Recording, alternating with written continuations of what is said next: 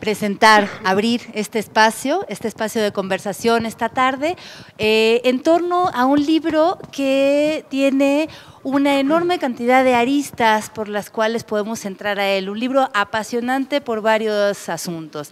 Eh, en principio por el compromiso personal, por la corta distancia que hay entre la vivencia personal y la expresión artística, que es realmente un, hallazgo, una, una cuestión fuera de serie.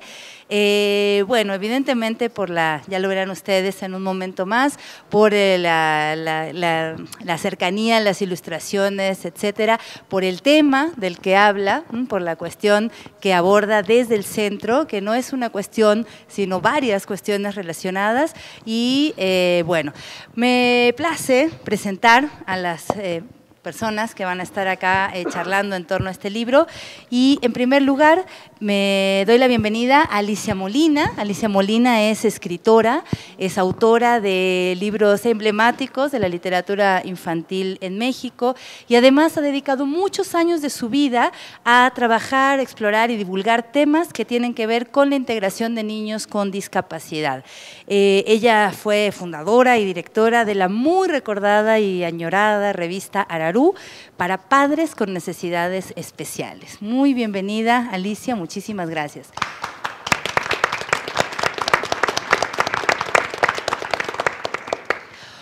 Nos acompaña también Katia de Artigues, conocida seguramente de muchos de ustedes. Ella es una periodista con amplísima trayectoria, una extraordinaria entrevistadora, una mujer que ha recorrido este, mundos, personalidades y que ha estado en diálogos muy diversos, que es además mamá de Alan, un nene, ya no es un nene, es un, sí, todavía es un nene chico, ocho años, todavía puede ser un nene, eh, con síndrome de Down, que ha estado muy cerca de estos temas desde el ángulo profesional y también desde el ángulo personal. Entonces también le damos la bienvenida. Muchas gracias, Katia, por estar aquí.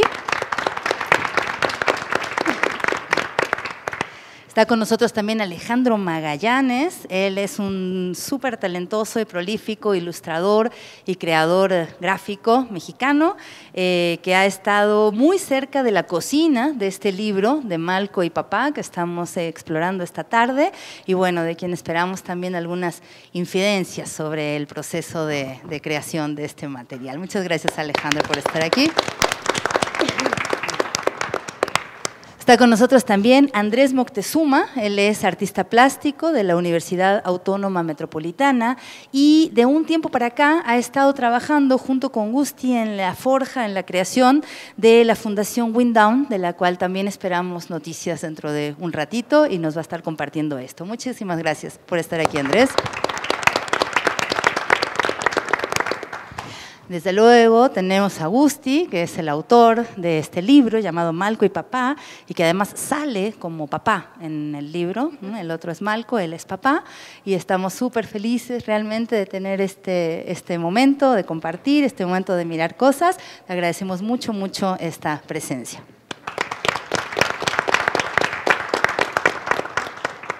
Quiero mencionar también que este evento está siendo interpretado en lengua de señas, como ustedes pueden apreciar, cosa que también agradecemos mucho como biblioteca.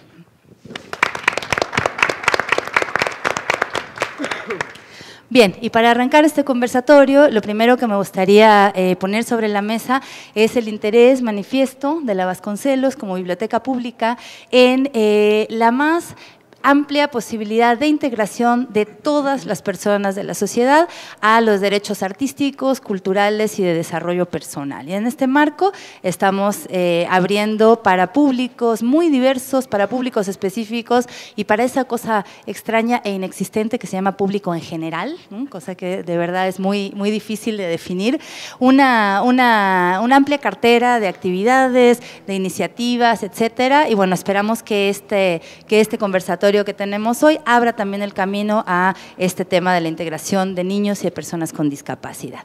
Muy bien, pues le dejaría la palabra a Alicia en primer eh, lugar, en primer momento, para que abramos esta charla. Bueno, pues muy buenas tardes. Estoy muy contenta de estar aquí porque este es un libro muy cercano.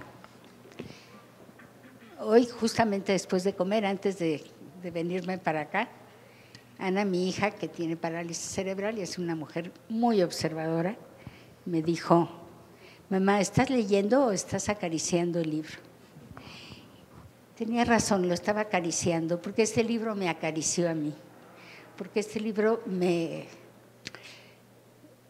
me dio una papacha que yo necesitaba hace mucho tiempo. Me sentí muy reconocida en el libro. Me sentí muy reconocida en muchas etapas que viví cuando Ana nació, en todo este proceso de aceptación que, eh, que no se da de buenas a primeras.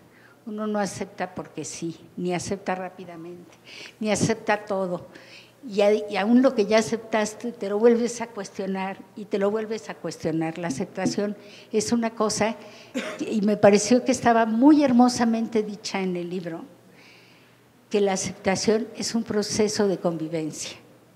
Y e, eso es muy evidente en el libro, porque ves cómo la aceptación empieza a surgir cuando Augusti empieza a jugar con Malco. Es hasta ahí y por eso, este, y ahí está la respuesta de por qué para muchas mamás es más fácil aceptar que para los papás, porque tenemos más dado ese espacio de convivencia. Y la aceptación es algo que se teje y se desteje en la convivencia. Entonces, esa parte me pareció que la decías tan bien en el libro, que la decían tan bien los dibujos, que sí sentí que el libro me acariciaba. Y a lo mejor por eso no he dejado de sobarlo desde que me lo regalaron porque hay una parte eh, como de contacto muy íntimo, con un proceso que es muy íntimo y muy personal, pero que cuando está dicho con, honestidad, como en este caso, cuando alguien se atreve a ir con honestidad a fondo, pues nos toca a todos y se vuelve universal. Eso tan personal se vuelve algo universal y nos encontramos todos. Y yo creo que no solo quienes hemos vivido la experiencia de tener un hijo diferente o especial, yo creo que en realidad todos tenemos una gran dificultad de aceptar al otro, de verlo como otro, de verlo en su otredad y aceptarlo en su otredad. Y que muy fácilmente dividimos el mundo en nosotros y los otros, y los otros que se vayan a un lado, ¿no? pero este reunificar el todos es un proceso difícil y no solo eh, cuando se trata del síndrome de Down, no solo cuando hablamos de discapacidad, en realidad es algo que está, que, es una parte de nuestra limitación como personas y es una invitación a crecer, muy importante. Yo creo que los hijos están, este, todos nuestros hijos vinieron a hacernos crecer a nosotros los papás, ¿no? Y unos nos hacen crecer más que otros, ¿no? Pero aquí yo no sabría quién te hizo crecer más, Malco o Teo. Pues no, son los dos los que te hacen crecer. O sea, porque para estar a nivel de los hijos uno tiene que crecer mucho. Y eso se ve muy claro en el libro, ¿no? Hay muchas cosas que, en, las que uno se reconoce como persona, como ser humano. Eh, y además, eh, esta invitación que, vienen a hacernos los niños con síndrome de Down, nos vienen a hacer las personas más sencillas a centrarnos en lo esencial. ¿no?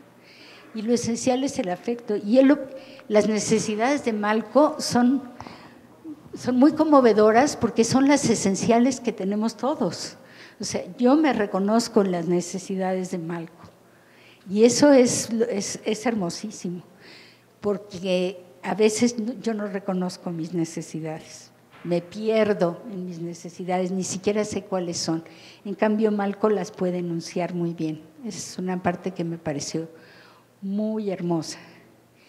Y yo siento que, bueno, todos los papás, cuando tenemos un hijo, pues iniciamos un proceso de aprendizaje muy largo y a mí la lectura de este libro me, me, removió muchas de esas eh, necesidades de aprendizaje que a mí se me hicieron evidentes cuando Ana nació. Y yo les quiero compartir algunas que publiqué hace muchísimo tiempo, tanto que Ana tenía 15 años y Ana tiene ya 36. Pero bueno, hace 20 años escribí este artículo y se los quiero compartir porque es como, como un camino muy paralelo al que Gusti siguió al dibujar, ¿no? Este, el de marcar cuáles son esas asignaturas pendientes que yo tenía y que, y que Ana vino a plantearme. Se los voy a leer, bueno, no todo porque está muy largo, pero una parte. Hace 15 años, bueno, hace 36 años, cuando nuestra hija Ana nació, nosotros nos consideramos una pareja muy bien educada. Es más, pensábamos que estábamos muy bien educados. Con la audacia que da la ignorancia, dábamos clase, conferencias y escribíamos libros sobre educación. No sabíamos todo lo que nos quedaba por aprender. En estos últimos años reiniciamos desde cero nuestra educación con Ana como maestra. No hemos sido alumnos dóciles, y ella se ha tenido que esforzar muchísimo por encontrar las estrategias pedagógicas adecuadas a nuestras muy particulares deficiencias de aprendizaje. Hemos aprendido con ella y de ella muchísimas cosas. Que la parálisis cerebral es un trastorno neuromotor. Que el movimiento normal se produce igualito que en la vida cuando tensamos unas partes y relajamos otras la tensión general produce parálisis y la relajación también. Que esta no es una enfermedad, sino una condición y que llegó para quedarse, no se cura. Que trabajando muchísimo se pueden atenuar algunas de sus consecuencias y se hacen posibles muchos de los imposibles. Que se puede vivir con ella. Que Ana no es una persona discapacitada, sino una persona con una discapacidad que esa es una de sus características, pero no la principal. Que caminar es muy importante. Que la felicidad no es ausencia de dolor. Que en la vida resolvemos algunos problemas y con otros simplemente aprendemos a vivir. Que somos muchísimo más fuertes de lo que creíamos, pero muchísimo menos listos de los que pensábamos. Que no podemos tener todo bajo control que aceptar nuestras limitaciones es un proceso muy lento, que no es lineal, sino cíclico, y que es indispensable para aceptar también nuestro potencial. Que todos, a pesar de nuestras limitaciones, tenemos algo único y especial que dar. Que las, apariencias son solo aparentes. Que todos somos diferentes y nadie es perfecto. Que lo perfecto es enemigo de lo bueno que hubiera es el tiempo más tonto del verbo haber. Que mañana todavía no existe. Que vivir un día cada día es más que suficiente. Que la disciplina, la paciencia y el sentido del humor son herramientas esenciales. Que la dureza y la rigidez nos hacen quebradizos. Somos más fuertes y somos flexibles que para lograr una meta grande a veces es indispensable dividirla en tareas pequeñitas que sean de nuestro tamaño. Que caminar grandes distancias no es tan importante, pero es esencial poder poner los pies bien firmes en la tierra. Que ver la realidad es muy fácil, basta con, con abrir bien los ojos, pero es dificilísimo abrir los ojos cuando tenemos miedo. También hay muchas otras cosas que Ana me ha enseñado sobre mí misma. Me ha mostrado de manera muy evidente mi lado más malo y mi lado más bueno. Me ha enseñado a reconocer que si pedimos la gente sabe ayudar. Ana nos ha enseñado todo eso. Lo, hemos ido aprendiendo juntos. Las técnicas que ha utilizado se basan como la escuela activa en aprender haciendo y ensayo y error. También en algunos principios Montessori no hacer lo que queremos, sino querer lo que hacemos. Tengo que reconocer que algunas de esas lecciones las pasamos de panzazo, que otras tuvimos que hacer varios exámenes extraordinarios y que muchos de estos objetivos siguen siendo asignaturas pendientes. También debo reconocer que Ana, yo y toda la familia hubiéramos preferido aprender todo eso en un cómodo curso por correspondencia, pero nadie nos dio a elegir. Yo siento que una de las cosas más importantes que Ana me enseñó está muy presente en este libro. Pero a mí me costó mucho trabajo aprenderlo. Cuando cuando Ana empezaba a ir a la escuela, tenía un compañero que tenía una parálisis cerebral muy severa. Y yo, de una manera muy tonta, que ahora me da mucha vergüenza, eh, le dije como para que se sintiera bien. Fíjate, mira, este chavo tiene parálisis cerebral también, pero, pero tú estás mucho mejor. Tú puedes hablar, tú puedes usar tus manos y él no. Entonces se me quedó viendo con una condescendencia que todavía me da vergüenza y me dijo, Ma, tú no entiendes nada. Si no lo comparas, Jorge es perfecto. Y entonces me di cuenta que por andarla comparando, yo me estaba perdiendo de contemplar la perfección de mi hija. Me dio mucha vergüenza reconocerlo. Fue un aprendizaje muy fuerte. Y todavía me lo repito con mucha frecuencia. Si no lo comparas, Jorge es perfecto. Y, eso es lo que pasa con Malco, que nos permites ver su perfección. Y yo te lo agradezco mucho, porque sí, de veras el libro ha sido una caricia, por eso sigo ahí acariciando el lomo. Muchas gracias.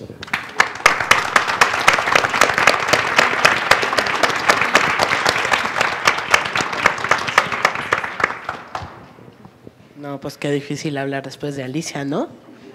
Está muy difícil. Eh, lo primero que yo quiero reconocer es, y, lo estábamos platicando un poco antes de, empezar eh, este diálogo, es lo refrescante y lo padre que es tener un libro escrito por un padre.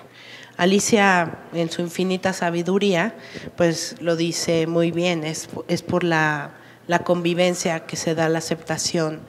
Y quizá muchos papás estadísticamente es cierto, se pierden de esta convivencia de, con sus hijos con discapacidad, ya sea porque tienen que trabajar este rol este, tradicional que tiende a dejar a muchas mamás que trabajaban de vuelta a la casa por tener que cuidar a un niño con discapacidad o bien porque pues deciden no enfrentar eh, el hecho e irse. ¿no? pero es, es, es muy padre ver un libro escrito por un padre. Yo no había, he leído muchos testimonios, pero sobre todo de, de mamás, ¿no? Que escriben sobre su experiencia de tener una hija o un hijo con discapacidad, incluso novelas. Pero yo creo que este libro de Gusti y otra página web de la que también estaba hablando antes de que entráramos a hablar aquí, que, la escribe un papá de otro niño con síndrome de Down que se llama Noah, se llama noasdad.com, eh, reflejan esta cosa perfecta de la cotidianidad. Cuando el otro papá eh, tuvo a, su hijo, Noah, él lo que quería ver era videos, ¿no? Quería ver situaciones de la vida cotidiana de cómo era tener un niño con síndrome de Down y no un tratado de que si la trisomía y el cromosoma y qué pasó y de quién fue la culpa y si le podemos echar la culpa a la estadística si la mamá tenía más edad o menos edad o si usaban esto o lo otro, que para este caso es absolutamente intrascendente. Em, yo como Alicia también me siento retratada por supuesto, en cada una de estas páginas. Em, y doy fe de que es cíclico. No están ustedes para confesiones, pero yo en este momento estoy pasando precisamente por uno de esos ciclos otra vez, ¿no? Ahí Dalia Pierdan, que está aquí sentada, fue la primera mamá de un niño con síndrome de Down que yo conocí cuando Alan nació hace ocho años. Y no sé si Dalia me lo dijo o me lo dijo alguna otra mamá sabia, mayor que yo que esto se vuelve, este, es, cíclico, ¿no? O sea, siempre y cuando, porque caes en la trampa de comparar, ¿no? ¿Cómo es posible que tu hijo teniendo tantos años todavía no lea como el otro niño? Incluso, por ejemplo, el niño con síndrome de Down que está en la misma escuela de Alan, ¿no? Son perfectos, tal y como son. Pero yo ahorita estoy inmersa otra vez en este ciclo de que crees superado algo y de pronto el amor está ahí, ya lo vives. Sin embargo, se vuelve difícil otra vez. Y tienes que regresar a lo básico. Hay una parte en, el libro de Gusti que, que, lo, que lo, bueno, no lo subraya, lo recuadra. cuando se pregunta qué es lo que realmente necesita Malco y pone amor con un recuadrito. Hoy en la mañana que lo estaba este, volviendo a, a releer, antes de venir aquí a la presentación me detuve desde con esa hoja porque dije, sí, ¿no? Eso. Es tan sencillo, sin embargo es una lección tan profunda, ¿no? Porque no se la vive, por ejemplo yo, en la terapia X, en la Z, en esto, en la adaptación curricular X, cuando lo que pasa es que yo creo que estos niños, como lo dice Alicia en una de, las cosas que le, le, he enseñado a Ana, nos enseñan a eso, a creer en los imposibles. Cuando yo veo la constancia de Alan, mi hijo, a todo esto, mi hijo con síndrome de Down de 8 años, en lograr algo, me maravillo y empiezo a creer que los imposibles existen. Cada vez que lo veo subir una escalera, aún a la fecha digo, híjole, si él puede subir las escaleras alternando los pies, ¿no? Con una rapidez que, pues de cualquier niño, supongo, o, no sé, cualquier niño de 8 años, o él, o no lo comparemos, ¿no? Se pueden hacer muchas cosas. Yo agradezco mucho la experiencia que plantea también Gusti en la primera página, de haber también pedido alguna vez amar incondicionalmente que yo también, cuando la vi en la primera hoja, dije, ay, bueno, yo en todo este libro yo sentí que me habías espiado, Gusti, la verdad, porque dije, ¿cómo? ¿Cómo es posible? Y de nuevo, lo hace universal, ¿no? Eh, espiado. Yo también pedí amar incondicionalmente a alguien, tener a alguien que amar, que no fuera yo, que me sacara de mí, y, y ese fue Ala, ¿no? Eh, y me enseña lecciones todos los días. Si él puede subir alternadamente las escaleras, todos podemos hacer muchas más cosas de las que a veces no nos creemos capaces. ¿no? Eh, y sí, cambiar el mundo poco a poco, conociéndonos. ¿no? En, con APRED hace poco lanzaron una campaña y nos invitaron algunos de los consejeros a, a grabar un pequeño video sobre no discriminación más bien no discriminación. Y pues yo hice referencia a pues esta situación sin duda que me ha marcado, que es pues que soy mamá de Alan, ¿no? Y yo decía, por favor, veámonos, ¿no?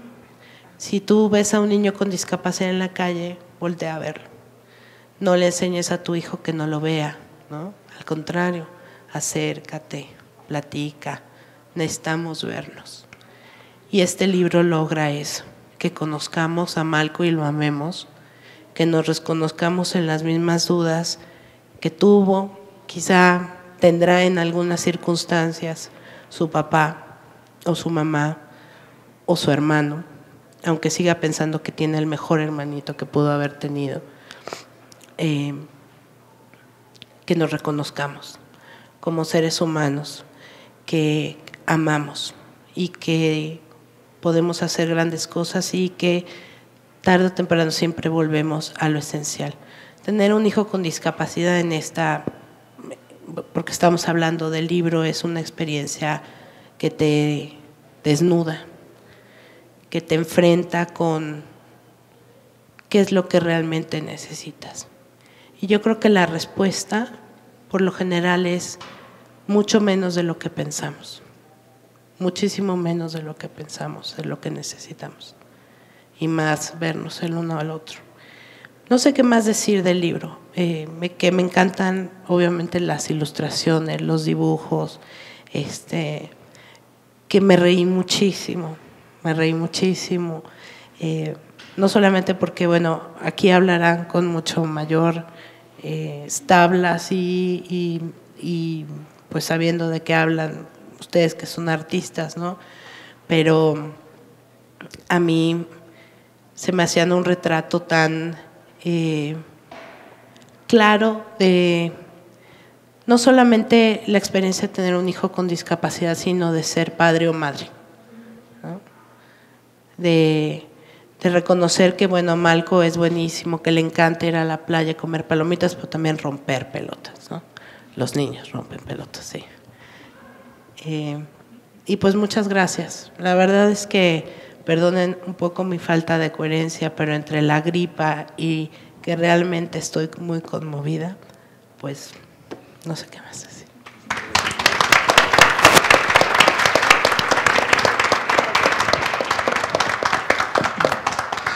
Eh, qué bonita, qué bonita presentación. Muchas gracias, Alicia y Katia.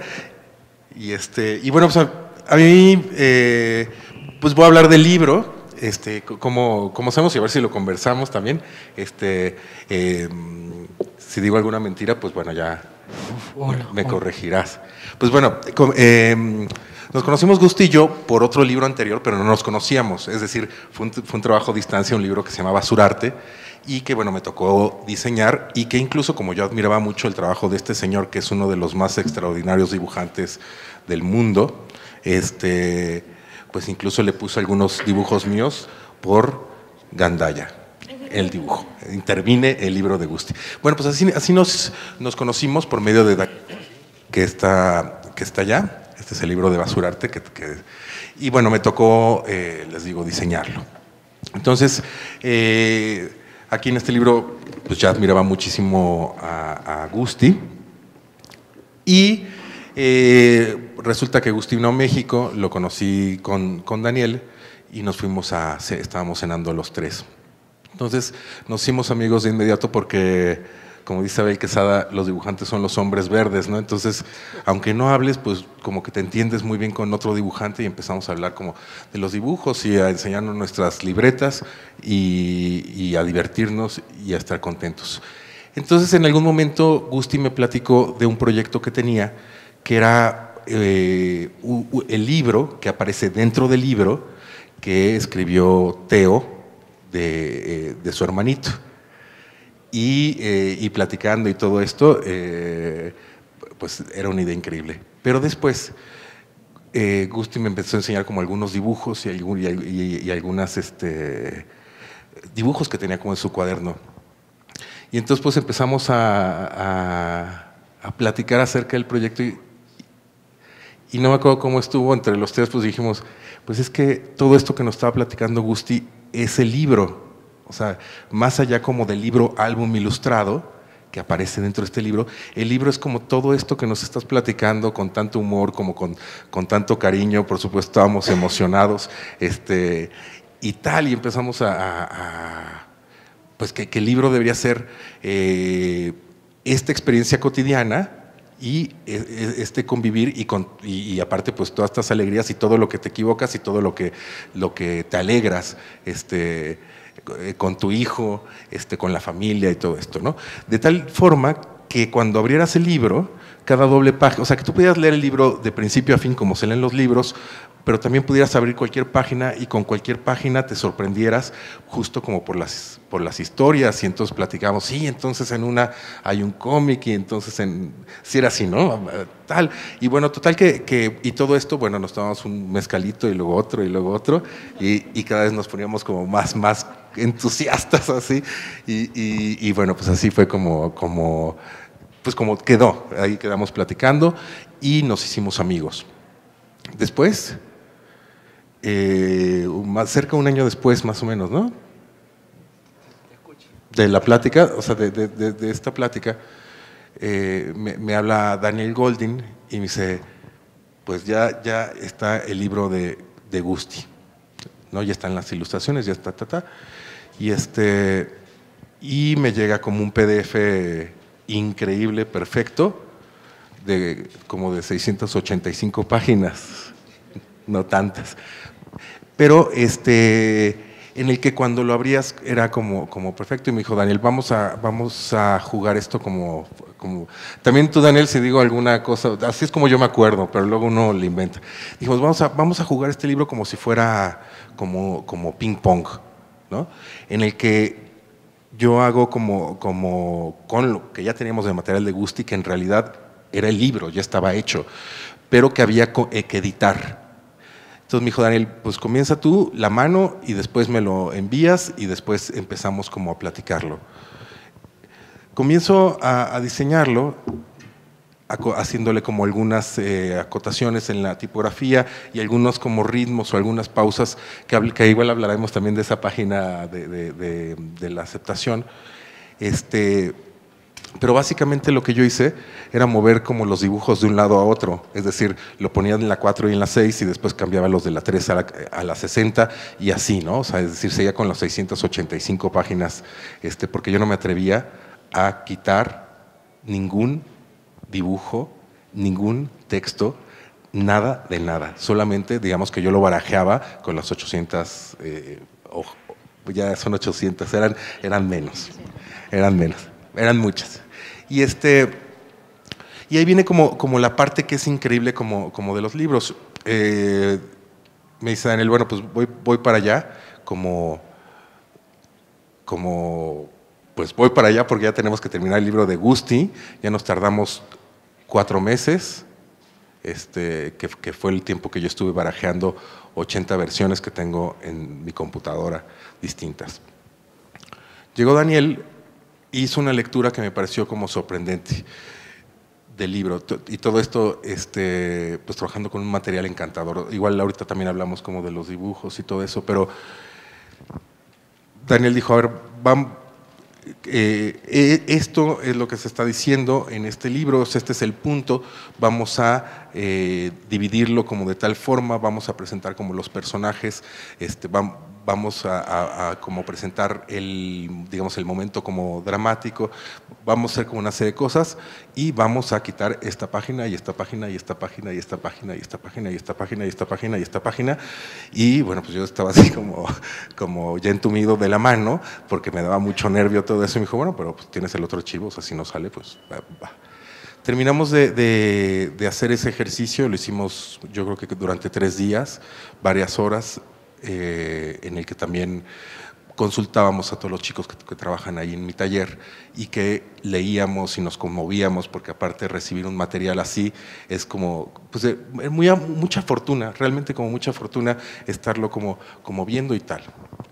Este, terminamos como, como, como un poco la edición eh, del libro y, y nada, y terminamos. ¿no?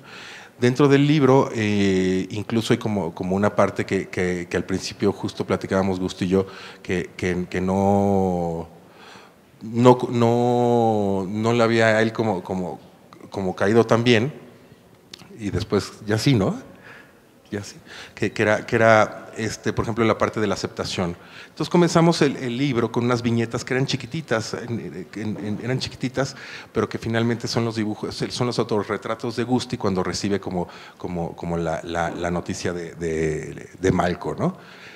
Y que él dice, eh, ¿por qué, no? ¿Por qué? Y eh, es él retratado eh, junto a una silla, al, al final la silla se, se cae, y empieza un texto que es muy hermoso, que es casi poético, que es más o menos, yo le quise dar con la tipografía como un ritmo este, poético, con una tipografía muy hermosa que se llama Minion. Este, y después abres y hay como si fuera un encabezado de periódico tremendo, grandísimo, con unas letras negras que dice no lo acepté. Y que es un momento como de, como, que yo decía, eh, en eso se refleja como un drama, como un encabezado periódico, este, con, con, estas letras que pueden resultar como potentes, pero también como gritonas y como, y como un poco alarmistas. Al final del libro, eh, porque viene todo el proceso de la aceptación por medio del juego, mediante también tiene mucho sentido el humor. La verdad es que si lo lees y te mueres de la risa, como cuando eh, ves la serie de cuadritos en donde Gusti iba a ir a hacer caca y este y entonces pues se mete el, niño que quiere jugar con él eh, a, los carritos, ¿no? Y terminan los dos sentados en el excusado este, leyendo el periódico, ¿no? Entonces, cosas que te... O, por ejemplo, la, también la, historieta en, donde se ve como una noche este, de Malco y Gusti, donde Malco se... ¿no? Y todo esto con dibujos perfectos, porque también ¿Qué tal? Yo que no quería hablar, ¿verdad? Disculpen, no sé, por favor, me, paran. Este, una cosa que es bien importante como del trabajo eh, de este gran artista es que puede dibujar como nadie. Entonces, tiene, platicábamos en la mañana, yo he contado, como, como, como en los libros que tengo, por lo menos 20 registros de dibujos distintos. ¿no? Esto quiere decir que puede dibujar una cosa como si fuera una fotografía o puede hacer un muñeco con un garabato que puede resultar como, como muy tierno. ¿no? Entonces, todos estos dibujos del cotidiano, ¿no? O sea, ah, perdón, por ejemplo, otra parte que me conmueve, que es, está hablando como del juego de se pone y se quita la gorra, ¿no? Y entonces dice que este juego de se pone y se quita la gorra puede ser, este, puede durar como mucho tiempo, ¿no? El juego puede durar mucho tiempo. Cada uno de los dibujos es un retrato perfecto de su hijo. ¿no? Cada uno de los dibujos podría estar en una página completa o podría ser la portada del libro. ¿no? Entonces, a mí ese tipo como de cosas me conmovía tanto al momento de estarlo diseñando porque, pues porque se me hacía como, como, como, como, material gráfico de un artista y material como perfecto. ¿no? Y eh, y pues bueno, o sea, al final eh, terminó siendo este libro que, que tiene un papel muy hermoso, o sea, ya, ya, que lo toquen, este, que está impreso de forma perfecta, este, que es como si, como si, justo como si estuvieras acariciando, o sea, el, papel tiene una textura casi como, como, como, como de papel con talco, o sea, lo, lo, lo van a ver ahora que lo, que lo gen.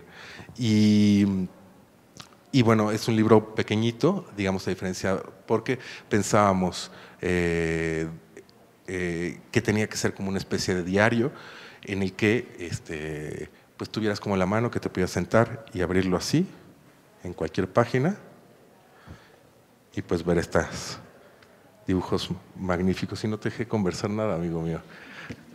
Ya es, es, es este es lo que quería decir al, al, respecto, que, bueno, pues ya, ya, ya,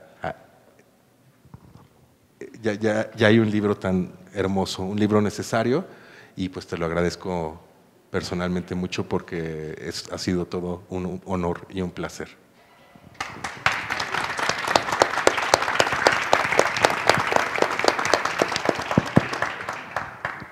Hola. Eh, buenas noches. Buenas tardes. ¿Te toca a ti? Sí. Ah, Gusti, me cambiaron. Eh, pues muchas gracias. Mm, a ver si terminamos sin, lágrimas y, si aparece la lágrima, bienvenida. Eh, tantas tanta gente que está aquí hoy tiene la culpa de que este libro esté aquí, ¿no? O sea, no saben cómo admiro a este señor, ¿no? O sea, es que no lo saben. Antes le presenté a un amigo, le digo, es Dios. Yo hablo mucho con Dios, o sea que... Eh, y que de golpe, bueno... Pero sobre todo lo que más me gusta es su corazón. O sea, si fuera una persona muy talentosa, pues le diría qué talento, pero no tendría ningún tipo más de, importancia, ¿no? Pero eh, él tuvo la gran culpa en un momento dado de cuando yo me vine un poco abajo con el proyecto del libro, de como de encender el motor otra vez, ¿no? Y eso se lo agradezco mucho. Me lo acuerdo mucho de eso. Eh, cuando les agradezco que se identifiquen mm, todo esto es sin sin ninguna intención. Todos los descubrimientos eh, son para mí nuevos. No, no, me interesa, nunca me puse a leer. Me prestaron un libro sobre el síndrome de Down aburridísimo. Eh, que eso, lo dejé ahí donde te muestran cosas para hacer. No hago, ni mucho menos, no le hago ni caso. Una cosa que sí es importante, yo soy muy preguntón no tengo vergüenza. O sea, ¿dónde, ¿dónde es la calle tal? O cómo se dice en un idioma, yo pregunto.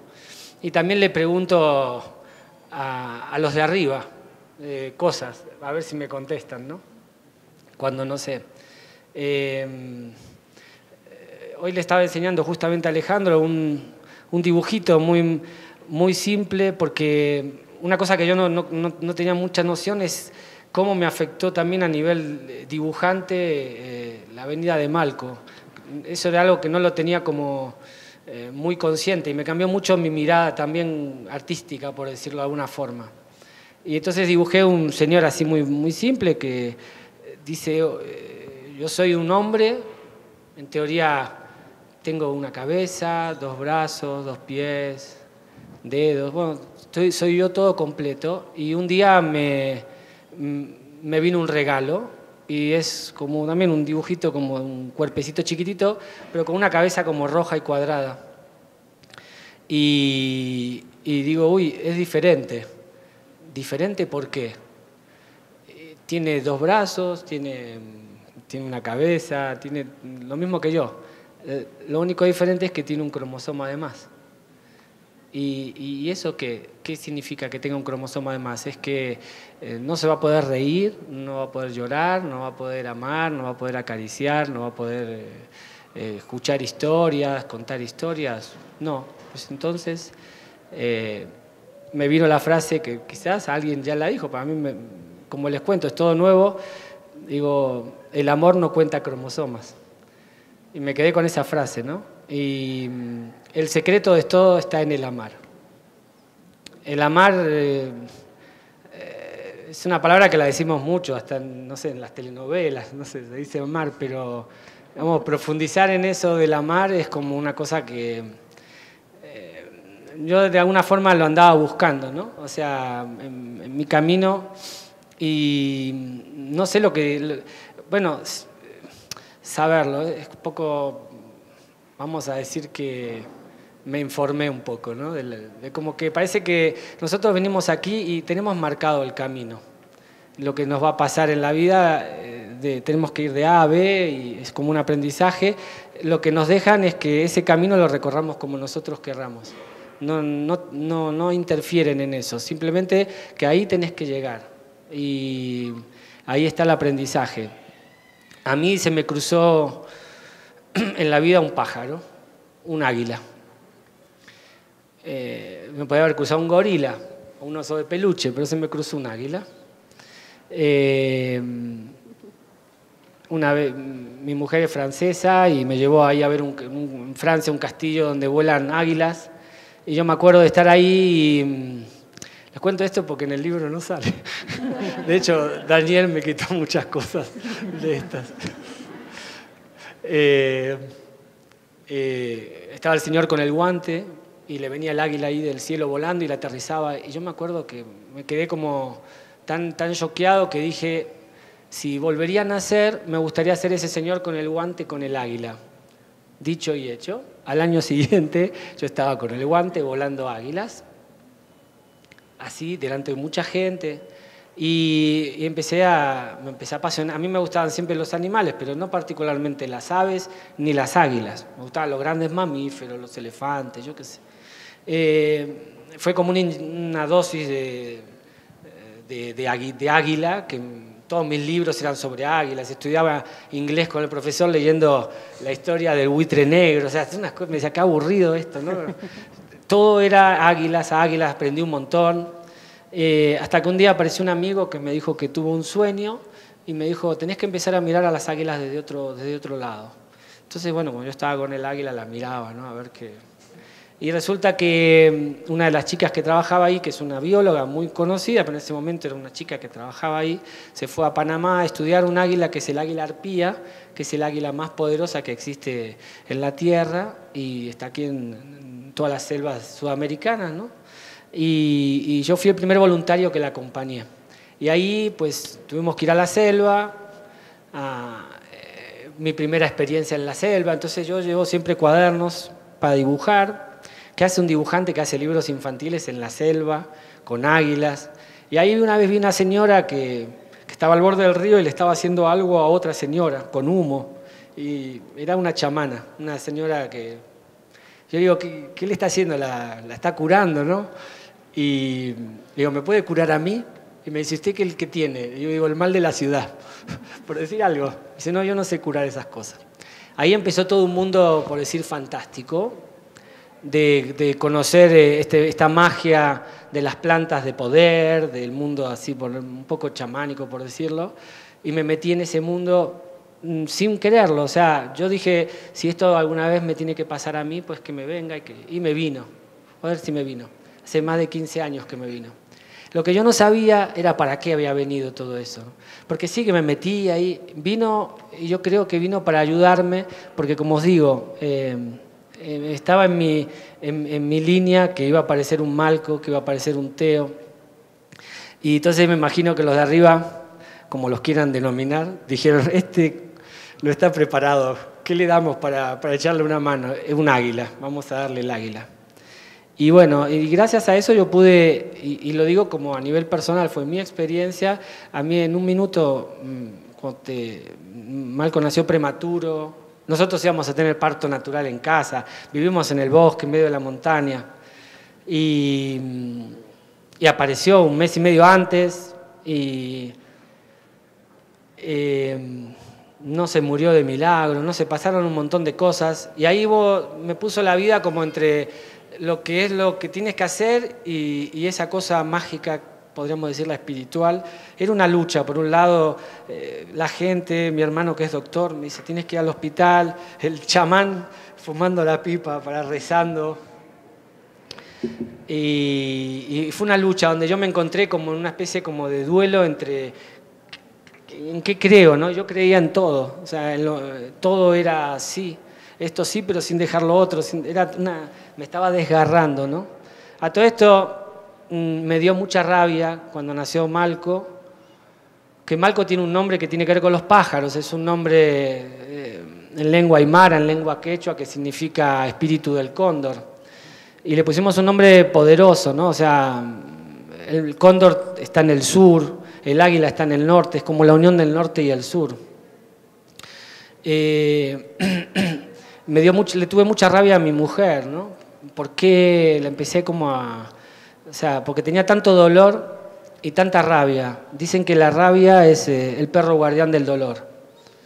Entonces, en el momento que está ese perro guardián gritando, pues tú no, no te metes a trabajar. Pero como ya les digo, eh, yo lo solucioné, dije, bueno, mis amigos decían, lo perdimos a Gusti, Gusti no se va a reír más, Gusti... Y yo me sentía como, intenté dibujarlo, pero no pude, como atrapado casi como, si, como una especie de caja, eh, toda llena de, con una espada atrás. entonces yo decía, por favor, déjeme moverme un, un poquito y vuelvo otra vez a ponerme ahí, ¿no? Me decían, no, hacia adelante. O sea, la única salida es hacia adelante. O sea, a los costados no había, no había espacio, pero ni un milímetro. Era una de esas cosas como angustiosa, ¿no? Y era insoportable. Eh, y bueno, entonces yo dije, yo este, eh, fui a una ceremonia que se hizo, él tendría que estar en el hospital, en una incubadora, pero eh, por los protocolos médicos tendría que haberse quedado solo en una incubadora. Mi mujer dijo que si se quedaba solo en una incubadora se iba a morir. Y nos fuimos del hospital firmando un papel y nos todos los médicos se van, les va a morir en el viaje. O sea, fue como una decisión muy difícil. Yo, con toda la, si tú tienes vergüenza, pues yo ya no sé lo que decir. Por mí, en ese momento yo quería que se muera. O sea, cuando llegamos a urgencias, en un momento yo mm, eh, sentía que si se moriera como que me sacaba un peso de encima. Fíjense la, capacidad ¿no? que, uno, tiene, ¿no? el miedo. Y mm, ah, tampoco sabíamos qué, pero ahí sí, en los, en, ya pusieron que presenta rasgos. Uno se cree que, son los ojitos, pero tienen un montón de, de características, eh, como en la palma de la mano, los dedos más cortos, las orejas más chiquitas, la lengua tienen un montón de rasgos que, y sobre todo siendo prematuro puede parecer que tiene, mm, los chicos con síndrome de Down tienen un, don visible que es, eh, pues, suele ser su cara, sus ojitos así como almendritas, eh, que son más bien bajitos, etcétera, etcétera. Y yo lo solucioné en un minuto, eso, en una noche. Y fue así, me puse a hablar con el, con el espíritu de arriba y me dijo, ¿querés que, que querés cambiarlo a Malco, Malco, si querés le quitamos el cromosoma, ¿no? Que yo siempre digo que él vino tan deprisa que se olvidó de contar los cromosomas, ¿no? Y él me decía, está bien así como está, él está bien, eres tú el que no, lo está aceptando. Y simplemente ahí pues eh, se hizo como un milagro. Eh, en el cual yo tenía el cordón umbilical y lo puse en un fuego que había ahí y, me comprometí a, cuidar a este niño, a amarlo con toda mi alma y se acabó el problema. Ese dolor se desapareció, se convirtió en felicidad pura, o sea, como un milagro. Eh, los indios, todos los huicholes, suelen decir que hay que morirse para recibir, ¿no? Morirse es una forma de entregarse, no poner resistencia. Y yo tuve 15 años preparándome para ese día poder entregarme, porque siempre estuve golpeando la puerta, pero cuando miraba así, cerraba, ¿no? Eh, y ese día me morí. y, la verdad que estoy muy agradecido. En el libro dice, eh, en la parte final, en la, parte, la, última paz, dice, un hijo no sale como te imaginas y yo ahora pondría quizás sale mejor. O sea, he hablado con un montón de gente que tiene chicos con síndrome de Down, con autismo, y la verdad que son toda gente que ha crecido muchísimo como persona. Eh, no hablo a nivel intelectual, hablo a nivel humano eh, y se convierten en grandes, eh, grandes faros de luz para todo lo que los rodea y se hace un fractal de eso. Cada vez que aparecen estas personitas, y les voy a contar una de las cosas que a mí más me gusta, que también Daniel creo que la sacó del libro, no sé por qué, pero que con todo, con todo el respeto y tiene, yo lo entiendo, que en esa ceremonia a mí me dijeron que en la tierra había una tribu que podríamos decir que era la, tribu de los, de los down, que a mí mucho no me gusta con la palabra, que vivían en perfecta paz y armonía. El hombre cuando vio tanta paz y armonía le empezó a dar miedo, mucho miedo, porque tanta paz y armonía algo no puede ser, ¿no? Entonces los comenzó a encerrar, a encerrar, hasta casi hacerlos desaparecer. Por eso cada 800 niños más o menos de promedio que en la Tierra nacen siempre aparece un chico con síndrome de Down. Y dicen que vienen a traernos la memoria ancestral de cómo se vivía antes en la tierra con paz y con armonía. Y a mí me dijeron eso y yo pues lo entendí perfectamente. Es así, ¿no? Eso que tú decías de, eh, de esos diálogos que se puede hacer con ellos, eh, van a la esencia de las cosas. En el fondo pienso que nosotros hablamos hasta de más, usamos el lenguaje para hablar muchas cosas que podríamos decir que, no son necesarias, ¿no? Y muchas veces con ellos es mucho más simple. Entonces yo pienso, creo que somos bastante discapacitados nosotros en ese sentido, ¿no? O sea, yo le estoy dando mucho la vuelta, eh, como mi escala de valores cambió, gracias a Dios, eh, mm, donde antes no veía belleza, veo mucha belleza, muchísima más.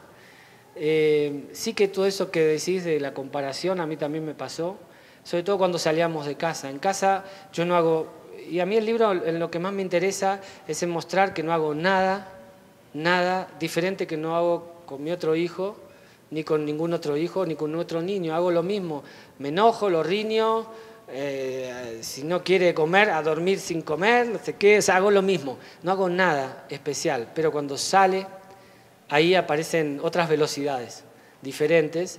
Y bueno, al principio a veces a mí eso me, alguna vez me pilló así por sorpresa, y pienso que me va a pillar por sorpresa en algunos aspectos, pero a mí ya en un punto llegué como diciendo, ¿y qué más da? O sea, que vaya más despacio, ¿qué más da? Eh, estamos... Es muy importante también, por eso a mí me gusta el libro, lo que es eh, la familia, los amigos, eh, es algo muy contagioso. Es, yo al principio pensaba que era un libro sobre la aceptación, es un libro sobre amor. Es un libro, yo, no me di cuenta, pero es un libro de amor. O sea, este, este enano me abrió el corazón. Ahí voy a poner Este enano me abrió el corazón, nos abrió el corazón a todos, todos los que, los que estamos alrededor nos, nos va abriendo el corazón es increíble las cosas que puedo contar de cada vez que... Y no es porque él tenga, simplemente porque es así. Así somos de buenos los, los seres humanos, ¿no? Y sé, bueno, no me voy a enrollar mucho más. En todo caso, estoy muy agradecido. Eh, siempre que salen mis libros, cuando salen de imprenta, suelo deprimirme porque no me gusta cómo salen, porque el color, porque el papel, porque mirá, yo qué sé. Y esta es la primera vez en años, en muchos años, que miré el libro y respiré tranquilo, sobre todo porque el libro, se, pues claro, se hizo vía México, que, que, no es que yo lo puedo llamar a las 5 de la mañana a decirle, cambia esto, no sé qué, era todo un mail que tarda en llegar, en volver y cosas así un poco raras. Y me puso muy contento. Yo tenía ganas de, también hay una carta tan linda en ese libro que no sale, que escribió Daniel. Eh, Daniel le escribió la primera carta a Malco, porque claro, yo tengo la suerte de que Daniel en algún punto me apadrinó. Y digo la suerte porque eh, encontré una persona que, me da confianza, me da mis tiempos, eh, me exige muchísimo, incluso a veces eh, me pincha, ¿no? Pero para sacarme lo mejor. Pero al final, después que ya te llegó, que ya estás a punto de irte a las manos, te dice, bueno, pero tú eres el que decide, ¿no? Pero primero te la puso así a, a difícil. Le escribí una carta preciosa que eh, se las iba a leer, pero bueno, mm, vamos a respetar la, intimidad. Y ahí viene el tema del águila, una vez más. Cuando apareció Marco, yo le escribí un mail a, Daniel diciendo, olvídate de mí por seis meses, o porque no sé qué, qué va a pasar, no sé. Eh, enseguida, pues empecé a, a pensar que voy a tener que trabajar mucho y que voy a tener que empezar a hacer libros o que no tengo ganas de hacer, por ejemplo, libros de texto para escuela que, que no me apetecían mucho. Y entonces una editorial en España, se llama Naya, me, me, dice, me ofrecen hacer unos, unos libros de lectura para escuela. Y dije, venga, va, los voy a hahacer. Y me dice, bueno, eh, te mando los cuentos. Y el primer cuento que me manda es de un indiecito que tiene que ir a curarle las plumas a un águila, ¿no? yo dije, el espíritu, digo, ¿cómo es la vida, no? Entonces eh, la llamé a la chica para decirle, oye, ¿cómo sabías lo de las águilas? Me dice, ah, yo no tenía ni idea, tengo como 50 cuentos y te mandé tres al azar. Es como para ponerles un ejemplo de cómo aparece el águila, ¿no? Todo el tiempo ahí en, eh, en mi vida. El viaje que estuve hace un mes y medio aquí atrás, cuando llegué al aeropuerto de México, una exposición del águila real gigante, ¿no? Que me recibía. Eh, está todo bien, está, está, todo en buenas manos.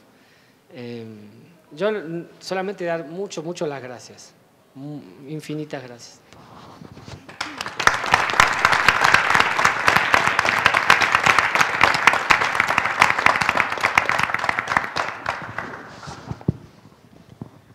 Bueno, eh, a mí me invitaron no, no, a hablar del libro, sino del proyecto Wind Down la Ventana, que tiene que ver mucho con que tiene que ver mucho con el libro. Y en ese sentido yo destacaría de este libro, bueno, es un libro maravilloso desde distintas este, eh, perspectivas. Es un libro para niños, es un libro para adultos, es un libro para familias que tienen un miembro down, es un libro para cualquier familia, es un libro divertido y es un libro muy profundo y serio. Y es, es eh, un sueño de Gusti encuadernado. Yo conocí este, de esta idea hace dos años eh, y fue un parto difícil el, de este libro, este, no solo por esta parte emotiva y valiente de Gusti, sino porque España estaba en la plena crisis y eh, el sector cultura más aún y los ilustradores independientes todavía más. Y el otro reto era, bueno, el, hacer el manuscrito con, el sacrificio económico de la familia, pero ¿quién lo va a editar? ¿Quién se va a interesar? Gusti se salía, digamos, de, su trabajo de ilustración normal, arriesgaba esto. Entonces es... Eh, una doble valentía la de, la de Gusti y en ese sentido yo lo veo como, como un sueño encuadernado y el problema o la, o la fortuna es que Gusti tiene muchos sueños, entonces ya, ya está pensando en, en otro par de, de, sueños. Y es esta, esta magia que tiene el libro, esta necesidad de, de acariciarlo, lo que dio origen a eh, el platicar y promover un proyecto entre amigos de Gusti, que somos este, artistas e ilustradores, eh, que se llama La Ventana Wind Down, y que tiene que ver mucho, con mucho de lo que, lo que ustedes están platicando. O sea, una ventana, un enlace, un puente, un espacio que comunique realidades diversas. una ventana por donde nos dejemos ver tal como somos y donde podamos ver a los demás con apertura. Y queremos abrir muchas ventanas en Barcelona, México, Buenos Aires, Bélgica, en la que nos veamos y nos relacionemos sin importar las diferencias. Esa es un poco idea, la idea de la ventana. Y como decía este Gusti, eh, en torno a la necesidad de, capacitarnos, pues el reto mayúsculo es el eh, poder capacitar a la sociedad. Vivimos en una sociedad discapacitada. Y somos artistas, ilustradores, y por lo pronto pues nuestra línea de trabajo es el expresar mucho de lo que ustedes están compartiendo y de lo que tenemos que aprender a través de estas eh, posibilidades eh, plásticas y visuales, escritas, ilustradas, etcétera, eh, teniendo esta necesidad de reflexionar y hacer reflexionar sobre esta problemática que tiene que ver con el corazón, pero tiene que ver también con la civilidad y con los derechos humanos. Gusti siempre ha dicho que no es una cuestión de compasión, sino de pasión y yo diría también de justicia social. Estamos picando piedra, y nos falta mucha piedra por, por, quebrar, tanto, tanto en Barcelona como en México, pero pensamos que es un tema, un proyecto que vale la pena.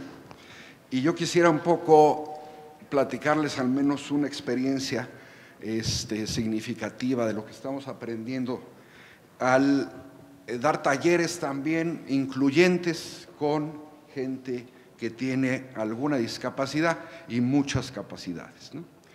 Eh, la idea del proyecto es, muy abierto, es eh, convocar artistas a que piensen en el ser humano diferente, a que rompan moldes, pero también nos interesa entender esta problemática desde dentro. Estamos dando talleres y algo que observamos y que tiene que ver eh, mucho con lo que aquí se decía, es que en uno de estos ejercicios que hacemos de dibujar una figura del ser humano rápida para soltar la mano, a pesar de tener un eh, taller lleno de, personas con silla de ruedas, en un espacio donde eh, quienes están en silla de ruedas son mayoría, e incluso quienes no la tenemos somos minorías y somos los parados. Para ellos somos, y eso me encantó. O sea, no, nos podían decir, miren, los, los, capacitados y los discapacitados. Entonces nosotros somos los parados, somos minoría, y el barrio donde está uno de estos centros donde, donde damos talleres, hay, hay una actividad ahí de, de estas personas porque una de, las, de los cursos que se les da es el de poder eh, aprender a manipular bien la silla de ruedas y son acróbatas. El caso es que en estos dibujos no se dibujan a ellos mismos. Siempre dibujan al ser humano con cuatro este, extremidades, con todas las capacidades. Y es ahí donde vemos esta cultura dominante que nos marca estos prototipos, estas normas, que finalmente vienen de la, de la estadística, de, la curva de Gauss. Lo, de en medio, los segmentos mayoritarios son los que importan. Los segmentos con menor porcentaje, esos son marginales y esos no, no, no importan. Entonces se ha construido este criterio de normalidad que rige el diseño arquitectónico y funcional del espacio de la sociedad, de la ciudad, de las calles, de los centros educativos, de los centros ocupacionales. Y nosotros queremos desde, desde el arte el poder criticar y cuestionar esta, este, este criterio de, normal, de normalidad, porque si observamos desde otra perspectiva también científica, es la diversidad la culpable de que exista el universo, la diversidad de materia. Es, lo saben los biólogos, la diversidad biológica y la diversidad climática la que hace posible la vida. Y es la diversidad humana la que hace posible a nuestra especie. Si todos fuésemos iguales, no existiríamos. Y de ahí que todos seamos perfectos. Bueno, ya no digo más. Preparamos un videíto, este, por si esto pasaba. Este, está muy, nos dieron tres días para hacerlo. Este, no refleja todo lo que es Wind Down la ventana. Aquí en México decimos la ventana Wind Down por razones culturales. Este, pero da una idea de, sobre todo los talleres en los que estamos trabajando. Me voy a hacer a un lado porque está como muy chiquita la pantalla. ¿Se va- ¿Solo se va a ver aquí? Este, yo les pediría que, se acercaran porque... O levantamos la pantalla también. O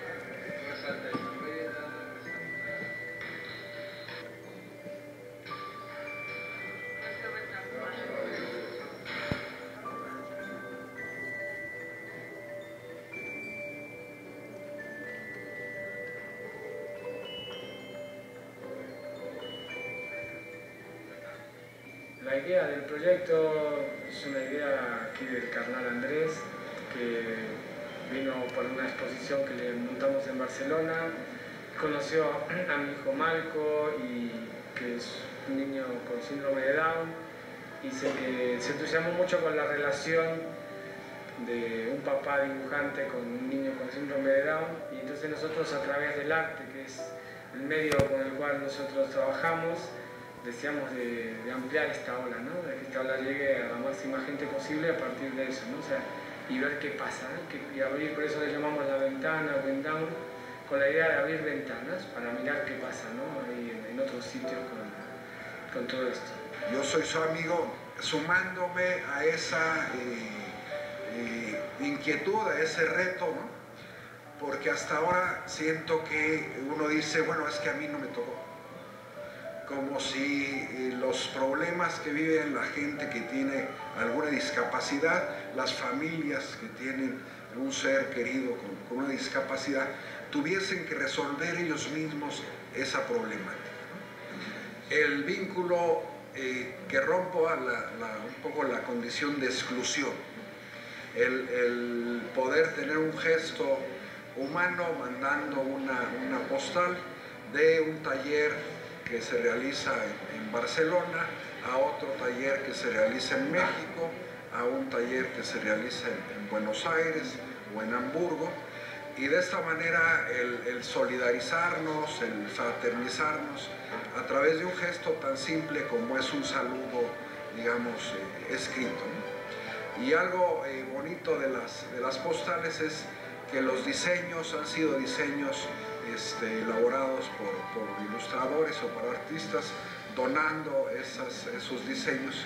Y es también un gesto este, de ellos, que es parte también eh, pues de esta cadena de vínculos que, que queremos eh, eh, fomentar, ¿no? darnos cuenta de- del otro, saludar al otro y a partir de ahí tener una mayor conciencia y posibilidades de eh, construir una sociedad eh, incluyente. Eh, se trata también de eso, de, pedir a la gente, bueno, si, te simpatiza la idea, si te simpatiza este tipo de proyectos, puedes hacer algo eh, quizás muy simple, mandar una postal o puedes solidarizarte y participar de la manera que quieras. Pues nada, sí, convidarlos a, a que se sumen a este proyecto de Wind Down, la ventana, de nos ayuden a abrir más ventanas, eh, decirles que no nos interesa la compasión, nos interesa la pasión, nos interesa el amor, nos interesa pues, el aprender, nuestra idea es trabajar el arte relacional, o sea, vivir experiencias a partir de, trabajar eh, con cosas artísticas y decirles que mm, tengan cuidado, que esto es muy contagioso, que, que se gana con todo esto, pues mm, estar muy satisfecho, empezar a dormir muy contento y levantarse muy bien a la mañana, ¿no? sabiendo que, estamos compartiendo eh, con todos eh, este, este, planeta, este mundo. Así que bienvenidos, esperemos que, que les guste.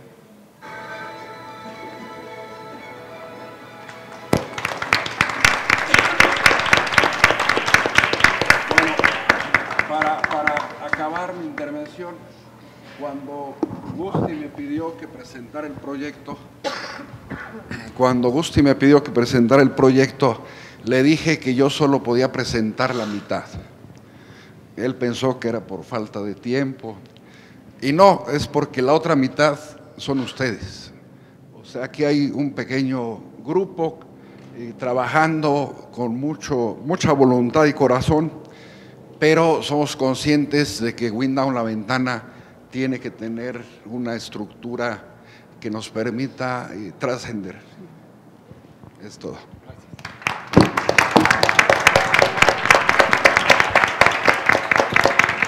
Bueno, pues muchísimas gracias. Hasta este momento esto ha sido no solo conmovedor, sino útil y a su manera perfecto, para usar una palabra que ha salido mucho en esta conversación.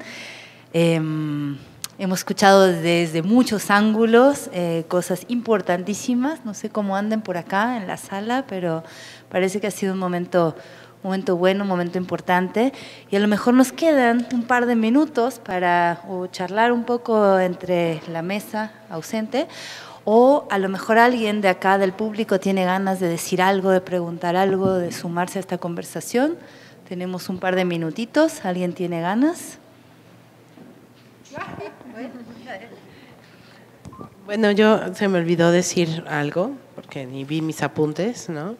Pero me parece que es muy importante algo que dibujó Gusti al final, una especie de, robot, ¿no? Que combate el miedo, ¿no? Que, a ver, sí, búscalo porque está padre enseñarlo.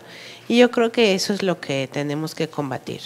Creo que el amor y el miedo son sentimientos pues opuestos, ¿no? Dice, papá venció al miedo como un robot tirando rayos, ¿no? Y aquí dice, toma miedo, ¿no? Toma miedo. Y yo creo que eso es lo que nos pasa. Yo creo que la discapacidad la vivimos tan de cerca todos sin saberlo, que le tenemos tanto miedo porque la vemos en nosotros mismos que la tratamos de ahuyentar. Y la única manera de combatir el miedo es pues con amor.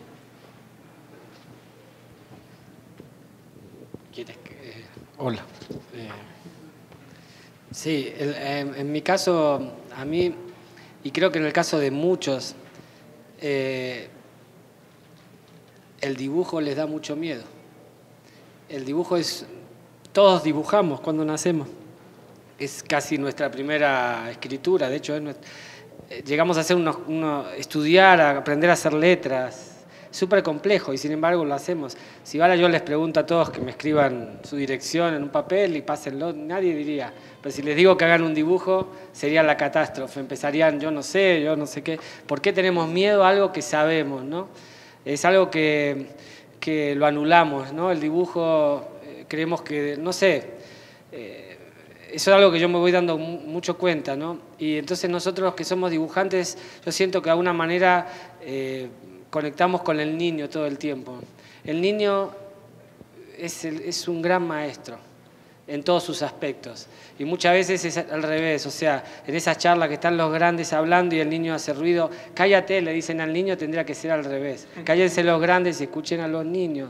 Los niños tienen la capacidad de pelearse a, a muerte y a los dos minutos ser súper amigos, cosa que nosotros no podemos. O sea, empecemos a ver las cosas y yo en un punto creo que ese niño a mí me ayudó mucho, ¿no? Una vez un amigo que trabajaba en el estudio conmigo me decía, tú estás haciendo al revés, Gusti. O sea, el niño lo tenés en la vida y cuando te pones a dibujar pones al adulto. Entonces, eh, y tenía razón. Es así como esa cosa, ¿no? Del, profesionalismo.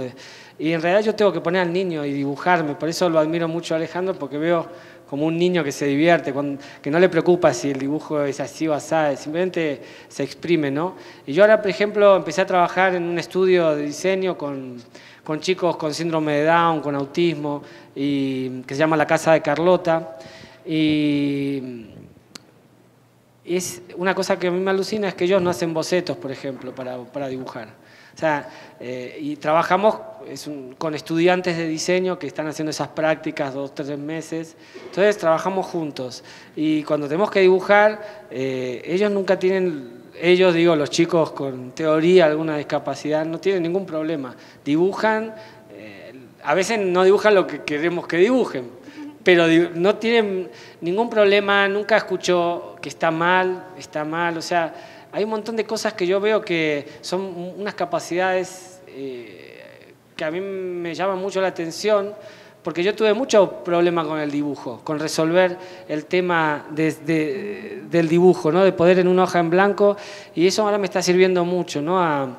de hecho, el último libro que hice me pidieron, oye, que nos envías bocetos, y dije, no hago bocetos. Entonces, eh, em, en definitiva es, miedo, ¿no? O sea, es, eh, es un proceso de aquí. Eh, sí, a veces cuando te preguntan qué libro te gusta más de los que hiciste, yo ya no digo por el resultado, de hecho el resultado es lo que menos me interesa, en el sentido, y me interesa el proceso, que es un poco la vida, ¿no? La gente muchas veces viaja y se pierde el viaje porque está pensando en, a dónde va a llegar, pero cuando llega ya quiere ir a otro lado, al final no, no disfruta del viaje, ¿no? nuestra, vida es un viaje, ¿no? Y hay que disfrutarla cada día y, bueno, como todo, hay días que hay tormenta, hay días que, que sale el sol. Em, yo estoy muy contento de haber pasado una tormenta. Mm, eh, lo digo de verdad, o sea, ¿Habéis visto cuando llueve que la gente empieza a caminar como si, o más deprisa, como si se mojarían menos? Y se ponen así, ¿no? Con los hombres así, como también las cosas que hacemos es agua, ¿no? Agua, agua del cielo. Pues yo ya no lo hago más eso, y mis hijos tampoco. Cuando llueve no nos ponemos así. De hecho, nos mojamos. Y no sé, se aprende tanto de si tú tratas a alguien de una manera especial, esa persona es especial. Y yo no quiero que mi hijo sea una persona especial, yo quiero que sea una persona como todo el mundo. Con, mm, es duro a veces. Una de las cosas que más me gusta del Malco, fíjate cómo se derivó de, tu charla, ¿no? Tiene, es que él, claro, él, sale a correr con todos los otros chicos, pero se pega unos tortazos enormes porque pues, no tiene la, habilidad para correr se cae, se cae mucho. Salvo que se rompa realmente algo, que diga, bueno, tenemos que salir al hospital. Normalmente si se cae y se lastima mm, dentro de, los cánones de lo que no se le abrió la cabeza, pues yo lo dejo, no lo voy a, pachuchar así, decirle, venga, va. y entonces él aprendió a... Yo veo muchos niños cuando se caen, primero se ponen a llorar a ver cuándo aparece mamá y papá para recogerlos, ¿no? Y yo a veces alguna vez el Malco se ha caído y vino otro papá, digo, no, déjalo, parezco como un ogro, ¿no? Pero, no, no, déjalo que ya está bien. Venga, vamos, Malco arriba. Y me miran así, diciendo, oh, qué papá más duro. Pues sí, qué papá más duro. Porque, mm, sobre todo con los chicos con síndrome de Down, ellos son muy listos y muchas veces se aprovechan de, que tienen síndrome de Down para que la gente como que los ayude a hacer... Y, y yo creo que mi, idea es que los hijos no nos pertenecen a nosotros, los hijos nacen y vienen a la tierra a hacer algo también su camino, ¿no? Nosotros simplemente nos tocó el, ir delante de ellos y, darles las herramientas para que se puedan defender lo mejor en la vida. Para mí es así. Eh, una gran herramienta es mucho amor. Eso es una semilla que pones ahí y que crece, eh, pero luego ser muy independiente. Y sí, que va al colegio, él va a un colegio público, eh, que son estos colegios inclusivos, o sea, él va a un colegio. Y, hay algunos niños que lo rechazan, le pegan. Y bueno, pues cuando salgas a la calle, hijo, te va a pasar eso. Hay gente que quizás te va a pegar o te va a mirar así. Eh, y hay otros que te quieren. En el libro sale una niña que se llama Rayen, que es, es como Por eso digo que está todo escrito, tenía que estar esa Rayen en esa clase de Malco. Es la gran maestra. O sea, simplemente se trata de observar un poco más. Yo cuando estoy con los chicos en el estudio de casa de Carlota, hay un chico que se llama Kim, que tiene síndrome de Down, es terrible. Tiene un, eso de que son angelitos, es mentira. Eh, algunos son un angelito, el otro es terrible. Este tiene una mala leche que decimos ahí en España, así, que a veces te ganas de decir, pero pará, tío, ¿a dónde vas? y está, es muy amigo del chico que es autista. Y el chico que es autista lo trata de la manera que perfecta, es como el que amansa la fiera, ¿no? Entonces yo aprendo mucho de la relación. Cuando él se pone muy loco, que, a veces el otro dice, tranquilo, te comprendemos, y se, y se frena. Yo ya lo hubiera estado, que a ver, tranquilo, qué maestro. O sea, simplemente se trata de estar atentos y podemos aprender todo el tiempo. Nos pueden enseñar mucho. Y la verdad que también el, otro día dijo, el Malco dijo el nombre de la profesora, Noemí. Hicimos una fiesta en casa. Pudo decir Noemí. Entonces dijimos, a ver, ¿quién eh, que quiere comer pizza que diga Noemí, no? ¿Quién dice yo, yo? Entonces yo decía, Noemí. El otro, Noemí. Y él, venga, Malco. Y dijo Noemí, bueno, se comió toda la pizza, ¿no? Pero empezás a festejar esas cosas, ¿no? La escalera. ¿Cómo nunca le das atención a una escalera? En mi casa la escalera esa que a mí me daba mucho miedo porque si se cae se mata. De hecho se cayó alguna vez. Es una escalera muy empinada. Resultó ser una gran ayuda para su psicomotricidad. Y, bueno, y la verdad que sí, yo tengo, podría preguntar muchísimas cosas ahora a gente, pero les pregunto. Cuando me encuentro con alguien que sabe mucho, le pregunto, oye, que no sé, le pregunto. Y no tengo vergüenza en preguntar. Pero después es el día a día. Es muy, las familias o lo que sean, cuando digo familias, el, grupo que, está alrededor o que, que forman parte, todos somos Malcos, todos somos Alan, todos somos todos somos Ana no, hay, no es una persona independiente. En la medida todos crecemos, todos nos ayudamos, todos cometemos muchos errores y está bueno cometer errores. Todos hacemos cosas que quizás nos avergonzamos, no sé, pero em, está bueno. Em, nos tenemos que dar esa oportunidad, ¿no? Yo aquí había apuntado una frase muy linda que me, que me quedó aquí guardada que no, todos somos capaces de ser astronautas o tocar el piano, pero todos podemos intentarlo, ¿no?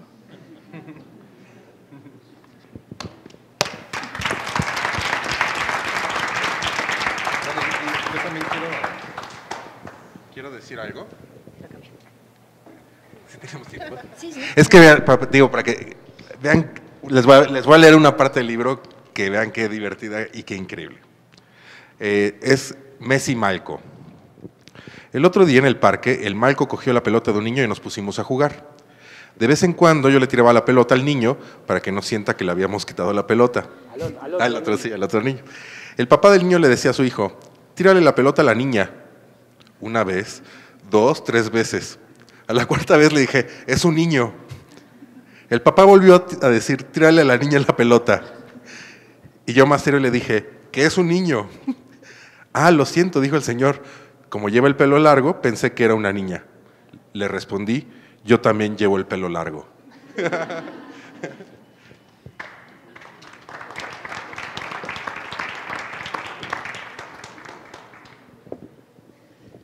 Bueno, pues muchísimas, muchísimas gracias por este tiempo que hemos compartido, por esta charla. Vamos a ir cerrando este encuentro de esta tarde. Agradecemos mucho a todos los invitados, a toda la gente que está por aquí, a toda la gente que nos está viendo en casa, en sus trabajos o en cualquier rincón del mundo. Todos están invitados, si no lo son ya, a hacerse socios de la biblioteca. Recuerden que lo más valioso que uno puede tener en la cartera suele ser la credencial de la biblioteca. En este caso, la credencial es gratuita, los requisitos son mínimos y estamos todos eh, invitados a pertenecer de una manera más activa a estos espacios. Muchas gracias a todos, muchísimas gracias por su presencia. Un momento. También les damos la buena noticia de que este libro, Malco y Papá, está disponible ya para el préstamo a domicilio gratuito en la Biblioteca Vasconcelos, si tienen credencial, por supuesto.